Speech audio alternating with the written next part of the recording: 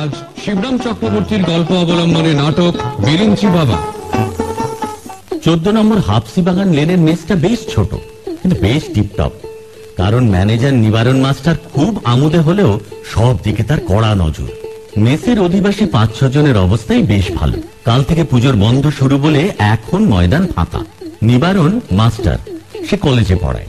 ইন্স্যুরেন্সের দালাল পরমার্থ এবং পাশের বাড়ি নিতাইবাবু আড্ডা দিচ্ছেন। নিতাইবাবু নিত্যই এখানে আসেন। তার বয়স হয়েছে। সেই জন্য মেসের ছোকরার দল তাকে একটু সমীহ করে। অর্থাৎ পেছন ফিরে সিগারেট খায়। চিত্তে সুখ নেই ভাই নিবারণ। বুঝলে পরমার্থ ঝি পালিয়েছে খুকির জ্বর। গিন্নি অষ্টপ্রহর খিটখিট খিটখিট করছেন। অফিসে গিয়ে যে একটু দু মিনিট ঘুমবো তারও উপায় নেই। নতুন ছোট সাহেব যেন চোর কি পাক খাচ্ছে। আগুনকে দিল? হ্যাঁ? ওই চোরকে শুনতে আর কি। সে ছাড়ো। তা আপনাদের অফিসে তো ভালোই ব্যবস্থা ছিল শুনেছিলাম। সে রামও নেই আর সে আরামও নেই রে ভাই। ছিল বটে ম্যাকেনজি সাহেবের আমল। শ্যামনগরের বড়দা মুখুজ্জে। চিনবে চিনবে, দেখলেই চিনবে। দুটোর সময় আপিম খেতেন, আড়াইটে থেকে সাড়ে চারটে পর্যন্ত ঘুমিয়ে স্বপ্ন দেখতেন। আর ঘুমিয়ে ঘুমিয়ে ফেক ফেক করে ফোকলা হাসি হাসতেন। স্বপ্নে কি দেখতেন কে জানে? আমরা টিফিন ঘরে একটু গড়াতুম টাড়াতুম আর কি খুড়ো কিন্তু চেয়ার ছাড়তেন না। একদিন হয়েছে কি, লেজার টিক দিতে দিতে পাতার নিচে যেই এসেছেন ঘুম এলো। নো নরণ চরণ নো নাক ডাকা ঘাড় একটু ঝুঁকলো না। লেজার টোটালের জায়গায় পেনটা ঠিক ছোঁয়ানো রয়েছে। খুঁড়ো ঘুমোচ্ছেন আর সেই হাসি, অসাধারণ ক্ষমতা। দূর থেকে দেখে মনে হবে খুঁড়ো হিসেবের মধ্যেই রস পেয়ে ফিক ফিক করে হাসছেন। ম্যাকেনজি সাহেব খুড়োর কাছে গিয়ে অনেকক্ষণ মন দিয়ে দেখে খুড়োর কাঁধে একটা চিমটি কাটলেন। খুড়ো একটু মিটমিটিয়ে চেয়ে হাসি টাসি বন্ধ করে গম্ভীর হয়ে হিসেব করতে শুরু করলেন। সাঁত্রিশের সাত নামলো, হাতে রইল তিন। সাহেব হেসে বললেন হ্যাঁ কাপ অফ টি বাবু। আর হেসো না হেসো না ভাই। সংসারে ঘেন্না ধরে গেছে। একটা ঠিকঠাক সাধু পাই তো সব ছেড়ে বেরিয়ে পড়ি। জগন্নাথ ঘাটে আজ এক সাধুকে দেখে এলাম বুঝলেন? মির্চাই বাবা। কি বাবা? মির্চাই মির্চাই লঙ্কা। তিনি ভাত ছাতু রুটি ফুটি কিচ্ছু খান না কেবল লঙ্কা খান। হাজার হাজার লোক আসছে। কারও চাকরি গেছে কারও বউ পালিয়েছে কারোর ছেলের অসুখ কেউ খুব রেগে আছে কারোর ওপরে। কেবল দাঁত কিরমির করতে করতে দাঁত ভেঙে ফেলার জোগাড়। বাবা একটি করে লঙ্কা দিচ্ছেন মন্ত্র পরে তাই খেয়ে সব ভালো হয়ে যাচ্ছে। শুনলাম তার আবার এক গুরু আছেন। তিনি কেবল করাতের গুঁড়ো খান। বাবা বাবা, জয় বাবা। আচ্ছা নিবারণ, তুমি তো মাস্টার, ফিলোসফিতে এম এ। আচ্ছা এই লঙ্কা, করাতের গুঁড়োর এই গুঁড়ো তাৎপর্যটা কি? তুমি একটু বোঝাতে পারবে? ওসব আলাদা আলাদা মার্গ। গীতা যেমন আছে জ্ঞান মার্গ কর্ম মার্গ ভক্তি মার্গ তেমনই এই ধরুন আপনার করাত মার্গ লঙ্কা মার্গ এই সব আর কি। এই সময় একজন হ্যাট কোট পরা বাইশ তেইশ বছরের ছেলে ঘরে ঢুকে পাখার রেগুলেটর শেষ পর্যন্ত ঠেলে দিয়ে হ্যাটটি আছড়ে ফেলে ফরাসের উপরে ধপ করে বসে পড়ল। এর নাম সত্যব্রত। সম্প্রতি লেখাপড়া ইস্তফা দিয়ে কাজকর্মের চেষ্টা করছে। উফ, কি মুশকিলেই পড়া গেল? সে তো তুমি রোজই পড়ো। আরে ধুর মশাই শুনুন না। অফিসের পর ভাবলাম আজ সিনেমা দেখতে যাই। পিসিমা কান ধরে নিয়ে গেলেন আচার্য মশাইয়ের বক্তৃতা শুনতে। গেলাম অগত্যা কিন্তু সব বৃথা। গুরু বলছেন জীবে প্রেম করে যেই জন আমি ভাবছি আরশোলা। আরশোলা? হ্যাঁ তিন টন আরশোলা। নভেম্বর ডিসেম্বরের জন্য এখন থেকে স্টক করছে। চায়নায় যুদ্ধ বাঁধবে কিনা? বড় সাহেবের অর্ডার এক মাসের মধ্যেই সমস্ত আরশোলা পিপে বন্দি হওয়া চাই। কোথায় পাই বলুন তো? এই ভাবতে ভাবতে। কি এই ভাবতে ভাবতে? হ্যাঁ বুঝতে পেরেছি বুঝতে পেরেছি। তুই দেখলি আচার্য ধুতি বেয়ে একটা আরশোলা উঠছে তাই তো? অমনি তুই চিৎকার করতে শুরু করলি। ওই ওই যে আরশোলা আরশোলা। ব্যাস আচার্য মাইকটাই উল্টে ভিড় ভিড় খেয়ে গেলেন আর কি। সতে তুমি না ব্রাহ্ম তোমার না মিথ্যে বলতে নেই? কে বলেছে? পিসিমার কাছে না বললেই হলো। আচ্ছা সতে তোর সন্ধানে ভালো বাবাজি কি স্বামীজি আছে দেদার কটা চাই। ই আর কি করো না? তোমরা তো মন্ত্রতন্ত্রই মানো না আবার বাবাজি। আল বাত মানি মন্ত্র সাধনায় ইলেকট্রিক এনার্জি তৈরি হয়। রাজশাহীর তরিতানন্দ ঠাকুর কলেজের ছেলেরা বলে রেডিও বাবা। দুটি টিকি একটা পজিটিভ একটা নেগেটিভ এই টিকি দিয়ে আকাশ থেকে ইলেকট্রিসিটি শুষে নেন আর ওই টিকি দিয়ে স্পার্ক ঝাড়েন। এক একটা আঠেরো ইঞ্চি পুরো সাই সাই শব্দ হয় চারিদিকে। সিল্কের চাদর মুড়ি দিয়ে দেখা করতে হয়। জিতেদা যাবেন নাকি তার কাছে? ও নিতাইটা সহ্য হবে না। একটু নিরীহ চাই কিন্তু সিদ্ধাই থাকতে হবে। এত বাজে বকেন আপনারা। আগে বললেই হতো এক কাজ করুন দমদমায় গুরুপদবাবুর বাগানে চলুন বরং বিরিঞ্চি বাবার কাছে। আলিপুরের উকিল গুরুপদ বাবু আমাদের প্রফেসর নুনির শ্বশুর। তিনি আবার বাবা জোটালেন কবে? সত্য? জানিস কিছু? ননিদার কাছে শুনছিলাম বটে। গুরুপদ বাবু জীবনের শেষে এসে একটি গুরুর পা খুঁজে পেয়েছেন আলটিমেটলি স্ত্রী মারা গিয়ে ভদ্রলোক সম্পূর্ণ বদলে গেছেন। আগে তো কিছুই মানতেন না। ওর একটি অবিবাহিতা মেয়ে আছে না? মুচকি ননিদার শালি? চায়ের হাতটা না ভারী মিষ্টি। হুম বুঝলাম। আচ্ছা পরমার্থ এই বাবাজিটি কেমন? আশ্চর্য! কেউ বলে পাঁচশো বছর বয়স কেউ বলে পাঁচ হাজার। দেখতে কিন্তু এই নিতাইদার মতো। তাকে জিজ্ঞেস করলে তিনি বলেন বয়স বলে কোনো বস্তু নেই সমস্ত কাল একই কাল সমস্ত স্থান একই স্থান। যিনি সিদ্ধ তিনি ত্রিকাল ত্রিলোক একই সঙ্গে ভোগ করেন। এই ধরো বাবা চাইলেই এখান থেকে তোমায় আকবরের টাইমে আগ্রাতে বা ফোর্থ সেঞ্চুরি বিসিতে পাটলিপুত্র নিয়ে গিয়ে ফেলতে পারেন। সমস্তই আপেক্ষিক কিনা। আইনস্টাইনের পশার একেবারে মাটি। আরে আইনস্টাইন শিখলে থেকে শুনেছি বিরিঞ্চি বাবা যখন চেকোস্লোভাকিয়ায় তপস্যা করতেন তখন আইনস্টাইন তার কাছে যেত। বাবা তো নিজেই দুঃখ করে বলেন অ্যালবার্ট বেহালাটা আমার থেকে ভালোই শিখেছিল, কিন্তু আসল বিদ্যেটা রিলেটিভিটির বেশি এগোলো না। আচ্ছা এই আইনস্টাইনের থিওরিটা কি একটু বলো তো? সে বাবার কাছে গিয়ে শুনবেন আপনি। বাবা তেমন তেমন ভক্ত হলে কি? কি আর?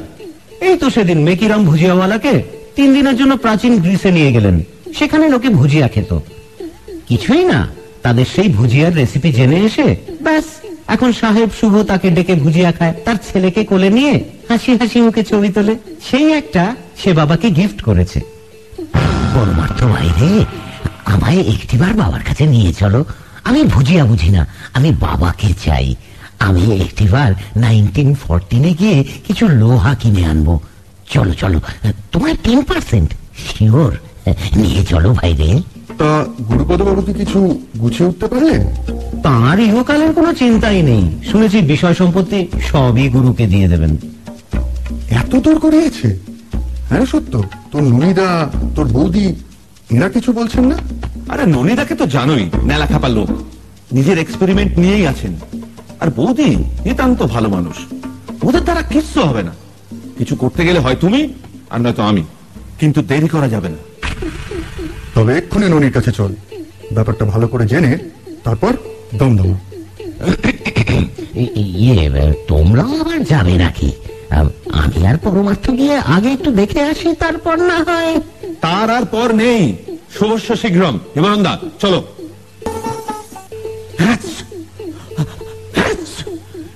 কি ধোঁয়া রে বাবা। আসলে এক্সপেরিমেন্ট হচ্ছে। কিসের এক্সপেরিমেন্ট? ও, আপনারা তো প্রফেসর ননিকে চেনেন না। প্রফেসর ননি কোনো কালে প্রফেসরই করেনি, কিন্তু অনেকগুলো পাশ করেছে। বাড়িতে এসে বিভিন্ন বৈজ্ঞানিক গবেষণা করে থাকে, তাই তার বন্ধুরা তাকে প্রফেসর ডাকে। নিবারণ ও সত্য ধোঁয়ার জাল কেটে উঠোনে ঢুকে দেখল, এক পাশে উঠোনের ওপর সবুজ রঙের কিছু একটা সেদ্ধ হচ্ছে। ননির স্ত্রী নিরুপমা কাঠি দিয়ে সেটাকে ঘাঁটছে।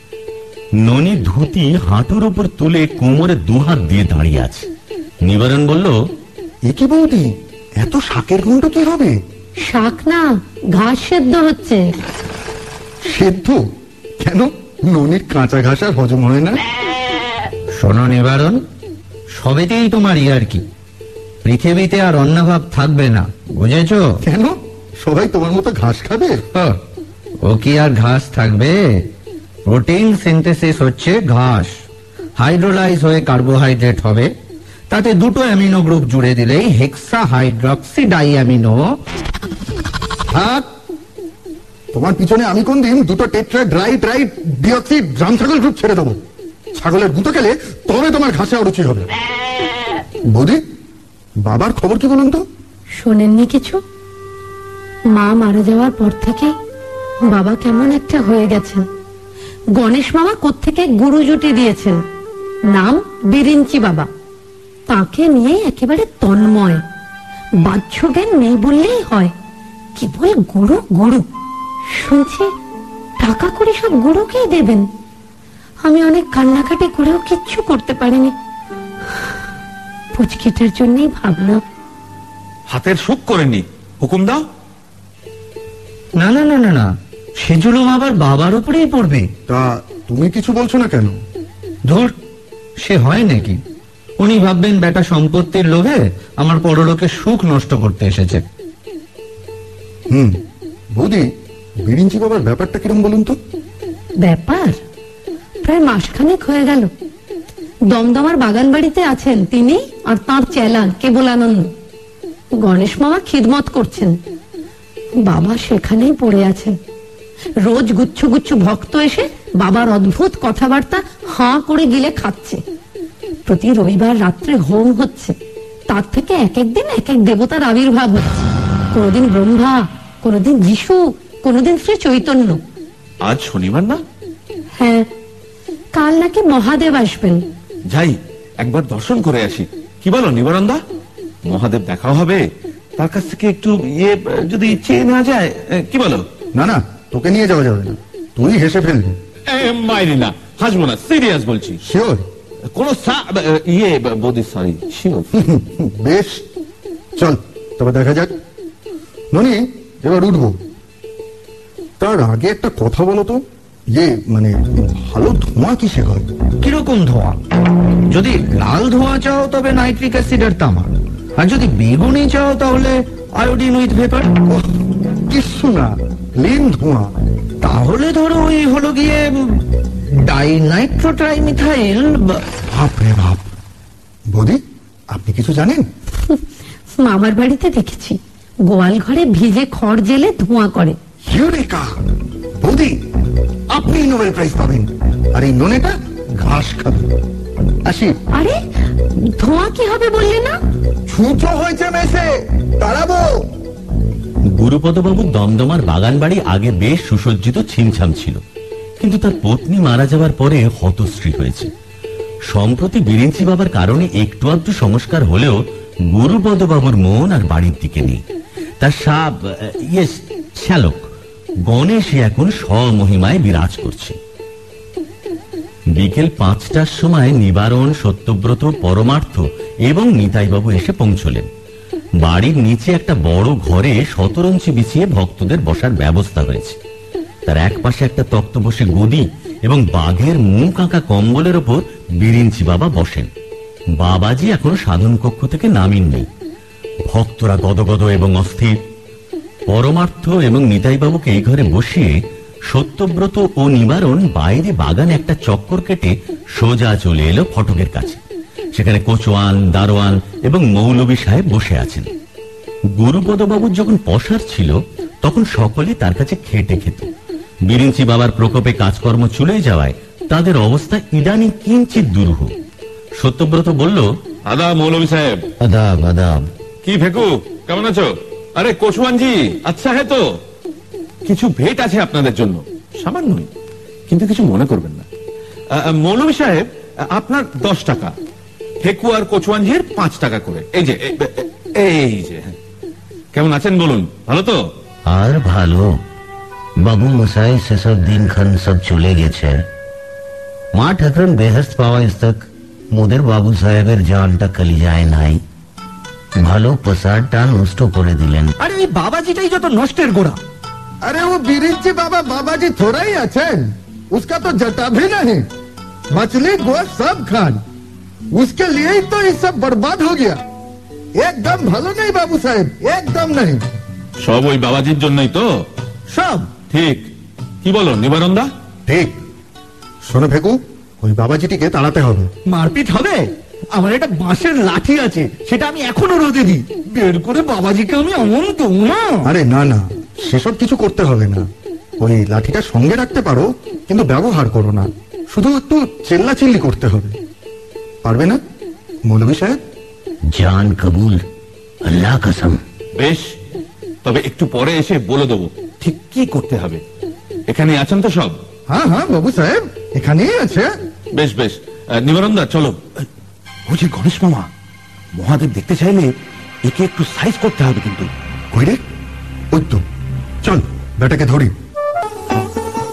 গণেশ মামা হোমের আয়োজন করতে অত্যন্ত দ্রুত বেগে হেঁটে যাচ্ছিলেন। নিবারণ ও সত্যব্রতকে দেখে থমকে দাঁড়ালেন। বললেন এই যে তোমরাও এসেছ দেখছি। তারপর বাড়ির সব হ্যাঁ নিবারণ তোমার বাবা তো বেশ হ্যাঁ। তোমার মা তো এখন একটু হ্যাঁ হ্যাঁ। সত্য তোমার পিসিমা পিসামশাই সকলে? সকলেই মামা সকলেই হে হে। আপনিও তো হে হে মামা।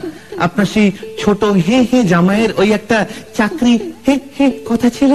পেয়েছে হে হে। আমার অফিসে একটা ভ্যাকেন্সি আছে। পাঠাবেন নাকি? হ্যাঁ হে হে থাকো বাবা বেঁচে থাকো। তোমরা আপনার লোক তোমরা চেষ্টা না করলে কিছু হয় নাকি? আপিস করলেই আমি তাকে পাঠিয়ে দেবো। মামা বাবু একটি আবেদন আছে। কে বলো না। দেব দর্শন চাই। যাও না বাবার কাছে সকলেই তো আছে। হুম পিওর দেবতা। আসল দেবতা। আরে না না না না না। ও কি আর যার তার সাথে হয় নাকি? আর এই যে সত্য সত্য তো ব্রাহ্মণ নাকি তাহলে মামা বাবু বুঝলেন তো আপনার জামাইকে আর কয়েকটা দিন টাইপ রাইটিংটা একটু মন দিয়ে শিখতে বলুন বুঝলেন? তারপর না হয় নেক্সট ভ্যাকেন্সিটাতে দেখা যাবে হ্যাঁ? চলো নিবারণদা বিরিঞ্চি বাবার কাছে গিয়ে বসি। না না না। চাকরি একবার ফসকে গেলে কি আর মিলে? লক্ষ্মী আমার ভাইটি চাকরিটা করিয়ে দাও। করিয়ে দিতেই হবে তোমায়। তা ঠিক আছে ঠিক আছে। হো- হো- হোম ঘরে এসো দুজনেই। মাথায় একটু গঙ্গা জল দিয়ে দিও না হয়। আর ওই চাকরিটার কথা ভুলো না বাবা কেমন? অফিস খুললেই। বেশ তো আমি যাই জোগাড় করতে হবে। নিবারণদা এই গণেশের কিছু বখরা আছে নাকি বলতো? গুরুপদবাবু গুরুর পায়ে পড়ে থাকলে এই গণেশের লাভ বই ক্ষতি তো দেখছি না কিছু। সেই। চো যাওয়া যাক।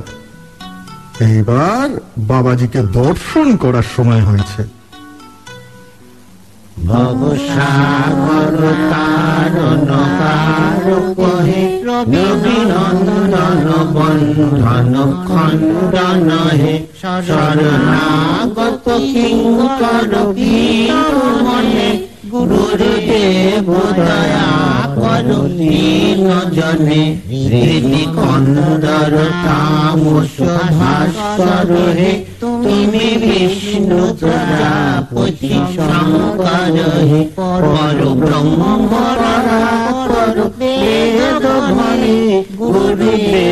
নাম সংকীর্তন হচ্ছে। শুনতেই পাচ্ছেন? ভক্তরা আছে, কীর্তনিয়ারা আছে। গুরুদেব অর্থাৎ কিনা বিরিঞ্চি বাবা সভা অলঙ্কৃত করে বসে আছেন। তিনি বেশ লম্বা চওড়া ঘোর গৌরবর্ণ ন্যাড়া মাথা। গালের পুষ্টির দরুন উজ্জ্বল চোখ দুটি প্রায় ঢেকে গেছে। সিঙ্গাড়ার মতো নাক, মৃদু হাস্য, উজ্জ্বল লাল ঠোঁট, তার নিচে খাজে খাজে নেমে আসা চর্বির ঢেউ, যেন গলকম্বল। তার যে বয়স পাঁচ হাজার, তা কিন্তু মোটেও বোঝা যায় না। মনে হবে পঞ্চাশ কি পঞ্চান্ন? পরনে গেরুয়া আলখাল্লা, মাথায় কান চাপা টুপি বিরিঞ্চি বাবা চোখ বন্ধ করে হাসি মুখে মাথা নাড়ছেন। তার বেদির নিচে ডান দিকে বসে আছেন ছোট মহারাজ। কেবলানন্দ ইনার বয়সও নিশ্চয়ই কয়েক শতাব্দী হবে। দেখে যথারীতি জোয়ান মনে হয়। একই রকম গেরুয়া পোশাক, একটু সস্তা কাপড়ের। বেদির নিচে বাঁদিকে শীর্ণকায় গুরুপদবাবু বেদিতে মাথা ঠেকিয়ে অর্ধ শায়িত অবস্থায় পড়ে আছেন। জাগ্রত না নিদ্রিত বোঝা যায় না। তাদের থেকে একটু দূরে অন্যান্য ভক্তরা বসেছেন। মহিলাদের মধ্যে প্রথম সারিতে একটা সতেরো আঠেরো বছরের মেয়ে লাল শাড়ির উপর এলো চুল মেলে বসে আছে।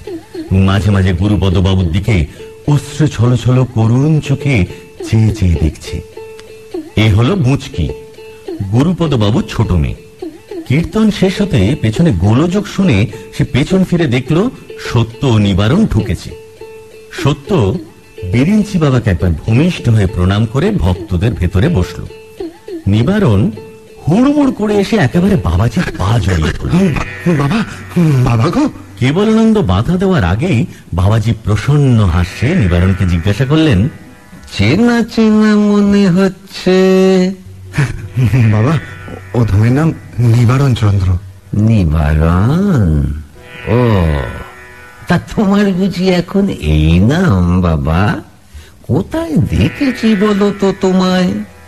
হ্যাঁ মনে পড়েছে, সেই নেপালে, নাকি? না তো? ও, মুর্শিদাবাদে হ্যাঁ? তুমি সিরাজদৌল্লার রাঁধুনি ছিলে, নুন বেশি দিতে রান্নায়, নবাব সেই জন্য তোমাকে কোতল করে দিতে গিয়েছিলেন বেশ কয়েকবার। হ্যাঁ? তোমার নাম ছিল মতিরাম। হ্যাঁ তা বাবু মতিরাম, এ নিবারণ চন্দ্র, তুমি এক কাজ করো ধৈর্যটি মন্ত্র জপ করতে শেখো, তাতে তোমার লাভ হবে। রোজ ভোরে উঠেই একশো আট বার বলবে দুজটি দুজটি দুজটি দুজটি দুজটি দুজটি খুব তাড়াতাড়ি। আচ্ছা কেবল যাও, একে দিয়ে এসো। আর একে একে ভক্তদের প্রশ্ন করতে বলো। আমি এবার সকলের প্রশ্নের জবাব দেব। আমার মন শান্ত হয়েছে। কেবলচন্দ্র আর একটু হলেই নিবারণকে একেবারে ঘাড়ে ধরে ভক্তদের ভেতরে বসিয়ে দিয়ে আসত। কিন্তু নিবারণ তার আগেই অশ্রু সজল নয়নে গিয়ে বসেছে। এরপর ভক্তরা করো জোড়ে একে একে প্রশ্ন করতে শুরু করে। প্রথম জন একজন স্থূলকায় বৃদ্ধ। পরনে ফিন ফিনে আদ্যির পাঞ্জাবি গলায় শোনাচ্ছেন বিখ্যাত শ্যাকরা গোবর্ধন মল্লিক। সম্প্রতি তৃতীয় পক্ষে একটা যুবতীকে ঘরে এনেছেন। বাবা। বলো বাবা গোবর। বাবা প্রবৃত্তি মার্গ আর নিবৃত্তি মার্গের কোনটা ভালো? আহা আহা সুন্দর প্রশ্ন। ঠিক একই প্রশ্ন। তুলসী দাস আমায় করেছিল। তুলসী ছিল সন্ন্যাসী। আমি ওকে বললুম, বাপু, ভোগের মূল হচ্ছে প্রবৃত্তি, ভোগের ফল হচ্ছে নিবৃত্তি। ভোগ না হলে তোমার নিবৃত্তি হবে না। তার রামায়ণ লেখা শেষ হলে তাকে রাজা মানসিংহ করে দিলুম। সভা স্তব্ধ ব্যারিস্টার এ কে সেন ভারী গলায় বলে উঠলেন ওয়ান্ডারফুল নিতাইবাবু সেই প্রথম থেকে এসে এতক্ষণ চুপ করে বসেছিলেন। মাঝে নিবারণের সঙ্গে বিরিঞ্চি বাবার সরাসরি কথোপকথন হওয়ায় তার নিবারণকে সামান্য ঈর্ষা হচ্ছিল। কিন্তু এইবার এইবার আর থাকতে না পেরে তিনি ছুটে গেলেন বাবার দিকে। নিবারণের পর কেবলচন্দ্র সাবধান ছিল। নিতাই বাবু যৌবনে ফুটবল খেলেছেন তিনি কেবলকে ডচ করে সোজা ডাইভ দিলেন বাবার পায়ে। বাবা বাবা বাবা দয়া করো প্রভু।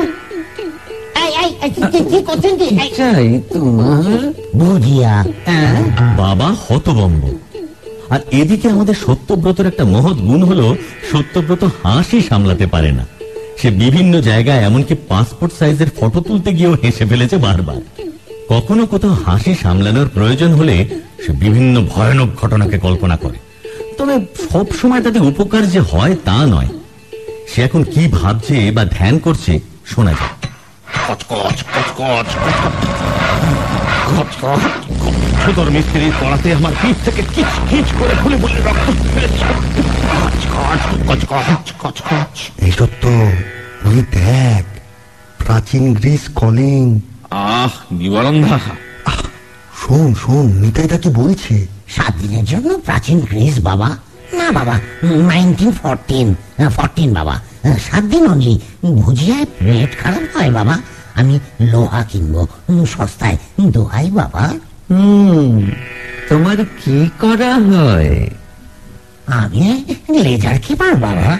বলচার ব্রাদার্সের আপিসে দেড়শো টাকা। চলে না বাবা প্লিজ করে দিন না কিছু কিছু করে দিন বাবা। শোনো তুমি যা চাও তাকে কালো স্তম্ভ বলে। তার জন্য সূর্যকে বসে আনতে হবে। তুমি আপাতত কিছুদিন মার্তণ্ড মন্ত্র জপ করো। মার্তণ্ড মার্তণ্ড কে? মার্তণ্ড মার্তণ্ড? হ্যাঁ মার্তণ্ড মার্তণ্ড। নিতাই বাবু বিরস বদনে ফিরে এলেন। সত্য কিছুক্ষণের জন্য হলেও স্বস্তি পেল, কিন্তু বেশিক্ষণের জন্য নয়। বেরিঞ্চি বাবা বললেন, ধন দৌলত তো সকলেই চায়, কিন্তু উপযুক্ত পাত্রে পড়া চাই। এই নিয়ে তো যিশুর সঙ্গে আমার ঝগড়া। যিশু বলতো, ধনীর কখনো স্বর্গ রাজ্য লাভ হবে না। আমি বলতাম, তা কেন? অর্থের সদ্ব্যবহার করলেই হবে। আহা বেচারা বেঘরে প্রাণটা খোয়ালে। উফ, ভাবাই যায় না। আহা। প্রভু আপনি জিসাস খ্রিস্টকে জানতেন? নিবারণদা আরে যিশু তো সেদিনকার ছেলে। কুরকুর কুরকুর আমি সত্যব্রত আমার কানের ভেতর একটা গঙ্গা হরিণ তার লম্বা সুরগুলো দিয়ে কুরকুর। রস বের করে খাচ্ছে। আমি সত্যব্রত আমি সত্যব্রত। এই সত্য মজাটা দেখ।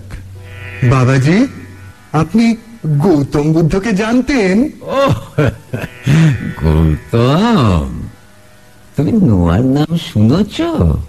তার নৌকোটার ব্যাপারে জানো? আগে। তাকে নৌকোটা বানানোর বুদ্ধি কে দিল? কে? এই আমি তো নাকি? হ্যাঁ? আমি সত্যব্রত পাঞ্জাব মিল চালাচ্ছি। কলিশান। পিসিমা নেই রক্তাক্ত দেহ বিকৃত মুখ মৃত্যু। কিন্তু কিছুতেই কিছু হলো না। পুঞ্জ পুঞ্জ হাসি বিলিতি শ্যাম্পুর ফেনার মতন সত্যব্রত নাক মুখের ফাঁক দিয়ে বেরিয়ে আসার জোগাড় হলো। সে প্রাণপণ চেষ্টায় তার হাসিকে কান্নায় পরিণত করল। এবং দুহাতে মুখ ঢেকে ভেউ ভেউ করে কাঁদতে শুরু করল। পেরেন্সি বাবা পর্যন্ত বিচলিত হয়ে পড়লেন। তিনি বললেন ও কি হয়েছে? আহা ওকে আমার কাছে আসতে দাও। সত্য কেবলচন্দ্রের রাগী চোখের সামনে দিয়ে সোজা বাবাজি সামনে গিয়ে দাঁড়াল। কাঁদতে কাঁদতে বলল উদ্ধার করো বাবা।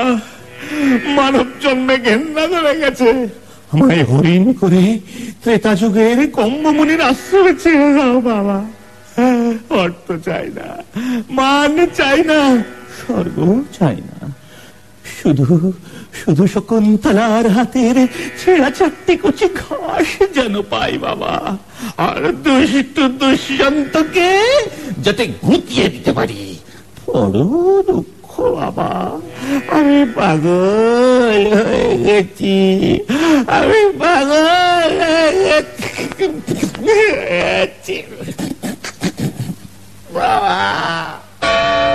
সাতটা বাজলো। দৈনিক পদ্ধতি অনুসারে এই সময় বিরিঞ্চি বাবা হঠাৎ তুরীয় অবস্থা প্রাপ্ত হলেন। তিনি চোখ বুঝে কাঠ হয়ে বসে রইলেন। কেবল তার গলকম্বল অল্প অল্প কাঁপতে লাগল। মামা বাবু চেলা মহারাজ এবং দুজন ভক্ত বাবা শ্রীবপু চ্যাংদোলা করে সাধন কক্ষে নিয়ে গেলেন। সভা আজকের মতন ভাঙল। ভক্তগণ বিদায় নিতে শুরু করলেন।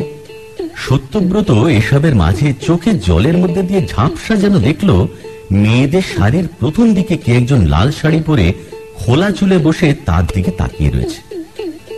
চোখাচোখি হতেই মুচকি উঠে চলে গেল। সত্যব্রত তার পরে পরেই উঠে নিবারণের খপ্পর থেকে বেরিয়ে একা একা মুচকিকে খুঁজে বার করল মুচকির চায়ের হাত বড় মিষ্টি। সত্যব্রত বলল ইয়ে, একটু চা খাওয়াতে পারেন? নিবারণ দাও আসবে এক্ষুনি। গলাটা না বড্ড চিড়ে গেছে। চিরবে না? যা চেঁচাচ্ছিলেন। জল চড়িয়ে দিচ্ছি বসুন একটু। আচ্ছা আমার বাবার সামনে কি কাণ্ডটা করলেন বলেন তো? কি ভাববেন তিনি?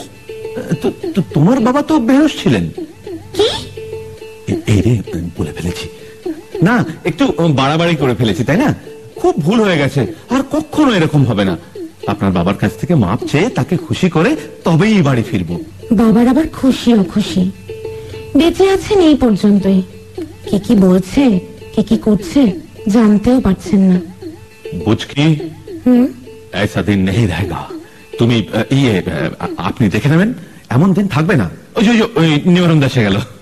নিবারণ ব্যস্ত হয়ে আসছে। রাত নটায় হোম শুরু হবে আর বিশেষ দেরি নেই। নিবারণ ও সত্য উত্তেজিত হয়ে কথাবার্তা শুরু করল। বুঝকি সত্যব্রতর দিকে তাকিয়ে মিষ্টি হেসে চা বানাতে চলে গেল। সত্যব্রত লক্ষ্যও করল রাত নটা হোম শুরু হয়েছে। ভক্ত আর বেশি নেই।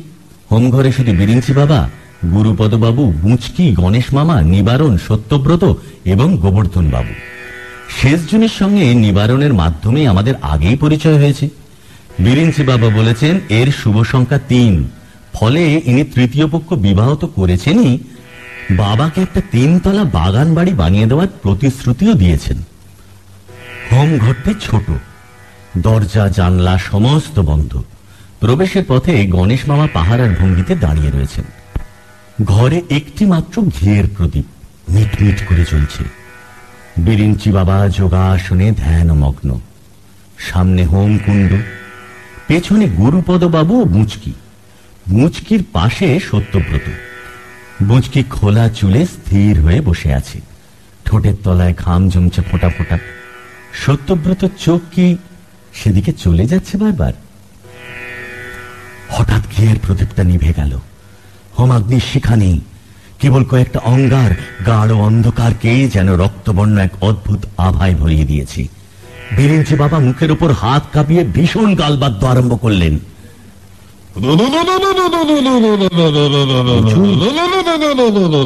বুঝু ভয় করছে? হোমকুণ্ড থেকে নীল আগুনের শিখা লক লক করে লাফিয়ে উঠল। সে ক্ষীণ অস্পষ্ট ভয়ঙ্কর, মায়াবী আলোয় সমস্ত বসে থাকা ভক্তরা দেখতে পেলেন, অন্ধকার ক্রমশ জমাট বেঁধে একটা শরীরে পরিণত হলো। ক্রমশ জটা, আরও নিচে সাপের মালা, ছাইয়ের সাদা রং, সাক্ষাৎ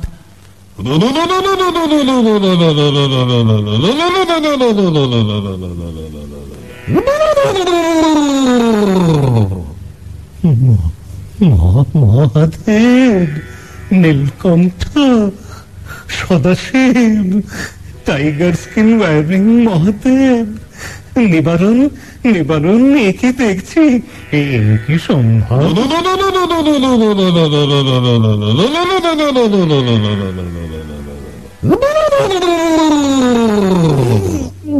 বাবু হাতটা খিঞ্চাবেন না? আমার ভয় করছে নিবারণ। তুমি দেখো তুমি দেখো মহাদেব হাঁটছেন মহাদেব চলছেন মহাদেব নড়ছেন। দেখছি তো শুধু নির্মানন্দা কেন সবাই দেখছি। নাচছেন নাচছেন যেন নটরাজ। তা বটে। গলার সবগুলো নড়ছে ভেনম সুগন্ধ পাচ্ছ। দেখো হাওয়ায় ভাসছে। কি হবে? কি হবে নিবারণ? কি আবার হবে? হাত না? হাতটা ছাড়ুন। সত্য রেডি রেডি নির্মানন্দা নিবারণ? কি হয়েছে? আমি কি জিজ্ঞেস করব? প্রবৃত্তি মার্গ ভালো? না নিবৃত্তি মার্গ ভালো? আরে ধরুন সত্য এইবার বম বম মহাদেব ঝম ঝম বাবা মহাদেব টাইম বম বাবা মহাদেব আলুর দম বাবা মহাদেব কে শান্তি ভঙ্গ করে কার অত সাহস বাঁচাও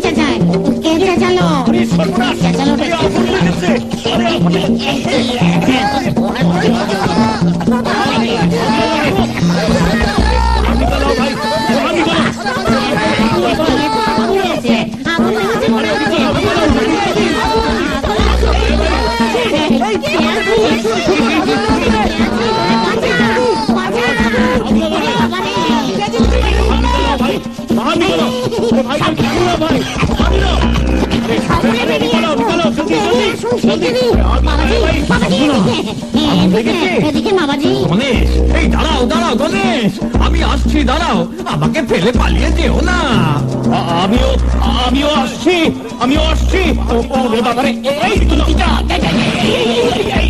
গেল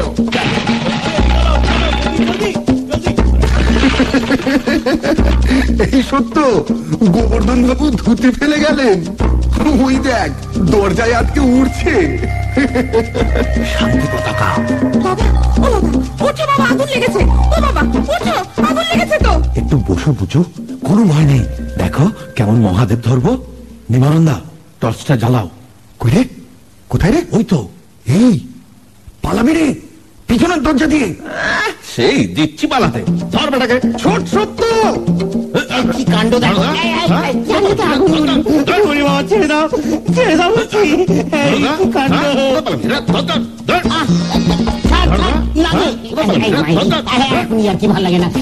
হ্যাঁ তোর সঙ্গে তো আমি ইয়ার কি মারছি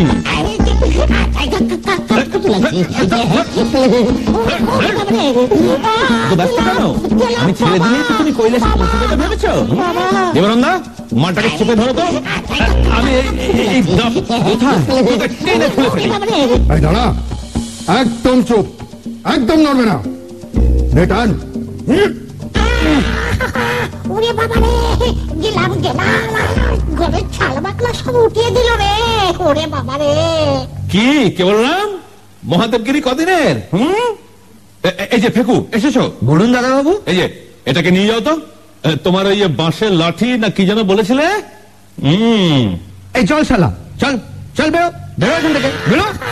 বেরো বেরো এখান থেকে একটা শটান থাপ্পড় কষিয়ে সত্য ফেকুর জিম্মায় কেবলকে তুলে দিল। বাইরে থেকে দু একজন লোক আস্তে আস্তে হোম ঘরে ঢুকছে। নিবারণ ও সত্যব্রত গুরুপদবাবু ও মুচকিকে সঙ্গে করে বাইরে এসে দাঁড়াল। বাইরে খোলা আকাশ, মুক্ত হাওয়া। বাড়িতে আগুন লাগেনি। সত্য চিৎকার করে ওঠার সঙ্গে সঙ্গে পাশের ঘরে কিছু ভিজে খড় কে যেন জ্বালিয়ে দিয়েছিল। দারোয়ান, মৌলভী সাহেব কোচওয়ান এবং পাড়ার পাগলা অমূল্য ও তার নেড়ি ভুলু প্রভৃতি সত্যব্রতর কথা অনুযায়ী মিথ্যে হল্লা করেছে। বিরিঞ্চি বাবা কিন্তু ভাঙেন, তবু মচকান না কেমন, গুরুপদ? এখন আশা মিটল তো। যে নাস্তিক, তার দিব্য দৃষ্টি হবে কি করে? তাই তোমার কপালে দেবতা দেখা দিয়েও দিলেন না। শেষটায় মানুষের মূর্তি ধরে বিদ্রুপ করলেন। বিদ্রুপ বলে বিদ্রুপ? মহাদেবের রূপ পচে গিয়ে বেরোলো ক্যাবলা। বিরিঞ্চি বাবা হয়ে গেলেন জোচ্চোর। কি গোবর্ধন বাবু? এটা কি নতুন ধুতি? কিনলেন? ওনার এক্সট্রা থাকে। ও বেটা আমাদের সঙ্গে চালাকি। বিরিঞ্চি বাবা সমস্ত গুলগাপ্পা। ছি ছি ছি ছি ছি ছি। গোবর্ধন তুমিও? বাবা আবার ওই যিশু লাইনে চলে যাচ্ছেন তো ব্রুটাস তুমি ওর মতো গোবর্ধন তুমিও গিয়ে লাভ নেই ব্রুটাস উকিল ছিল না এই গোবর্ধন মুৎসুদ্দি হাইকোর্টে ইংরেজ চুরিয়ে খায় তাকে তুমি ঠকাবে মারো সালে কো না, না, আটকাবেন আটকাবেন যেতে দিন হ্যাঁ, যেতে দিন সত্য তুমি এদের গাড়িতে করে স্টেশনে পাঠিয়ে দাও দেখো যেন কেউ কিছু এতে না বলে। বেশ তাই হবে। হেকু? হ্যাঁ দাদা বাবু গাড়ি রেডি একদম। ঠিক আছে তাহলে স্টেশনে ডেলিভারি দিয়ে এসো। বাবা তাহলে চললেন তো। দেখবেন সান মুন আট সব তো আপনার জিম্মায়। ঠিকঠাক অয়েল করবেন কিন্তু। তোমার ছোট মুখে। এই একদম সোজা বাইরে। চলুন চলুন চলুন। দেখছেন তো? চুপচাপ চলে যাওয়াই ভালো। ওর কাছে লাঠিও আছে তো। তবে বেশ ওই কথাই রইল। রোজ সূর্য চন্দ্রে তেলটা একটু দেবেন বাবা হ্যাঁ? নমস্কার। ওইদিকে ওইদিকে গেটের দিকে। চলুন চলুন। ঠিক আছে ঠিক সোজা গেটের দিকে চলুন। গেটের বাইরে যান। গেটের বাইরে যান। বাবা সত্য। হ্যাঁ গুরুপদ বাবু বলুন। তুমি আর নিবারণ তোমরা আমাকে রক্ষা করেছ। এইসব আবার কেন? না না বলাটা সত্যি উচিত। এই উপকার আমি জীবনে ভুলবো না। তোমরা আজ এখানেই খেয়ে যেও কেমন? অনেক রাত হয়েছে। হ্যাঁ? অসুবিধা নেই তো? না পিসিমাকে আমি জানিয়ে দেওয়ার ব্যবস্থা করছি। ঠিক আছে আপনি যা বলবেন। আচ্ছা চলো। এ- এ কি? দেখি। তোমার হাতে রক্ত কেন? ও কিছু নয় ও মহাদেবের কামড়। ওই যখন জাপটে ধরেছিলাম তখন কামড়ে দিয়েছে। আপনি মিছিমিছি ব্যস্ত হবেন না। প্লিজ বিশ্রাম নিন। আরে না না। তুমি এসো এসো। আমার সঙ্গে এসো। মুচকি টিংচার আয়োডিন দিয়ে ওটা বেঁধে দেবে এখন। এসো এসো তো। খাওয়া হলো জম্পেশ। গুরুপদবাবু মাছ মাংস ছেড়ে দিয়েছিলেন। কিন্তু বহুদিন পর আজকে বাড়িতে পাঁঠা ঢুকলো। আহারান্তে বিছানায় নিবারণের পাশে শুয়ে গড়াতে গড়াতে সত্যব্রত স্বগতোক্তি করল। ওহ কি মুশকিলেই পড়া গেছে। আবার? উফ নিবারণ দা আবার মানে? মুশকিল ইজ মুশকিল এনি টাইম মুশকিলের আবার ফাবার নেই। নিবারণ দা বলে ফেলো। ও নিবারণ দা আর বল না কি? বলব? আরে বলেই ফেল না। ইয়ে আমি বুচকিকে ইয়ে করব। কে করবি? বিয়ে করব। এই কথা? তা বেশ করবি। কিন্তু তোর সঙ্গে যদি বিয়ে না দেয়? আলবাত দেবে। বুচকির বাপ দেবে। উঠে পড়ছিস কেন? শো শো। ঠিক হ্যাঁ হলো। বাপ ন হয় রাজি হলো। কিন্তু মেয়ে কি বলে? কে আরে সেটাই মুশকিল। মেয়ে মেয়েটা না বড় গোলমেলে জবাব দিচ্ছে। কি বলে বুঝকি বললে যা বাহ বা আবার কি? বাহ হলো উল্লাস প্রকাশের ধ্বনি। ওরে গাধা যা মানে কি জানিস? কি? ওই যা মানে হ্যাঁ। হ্যাঁ?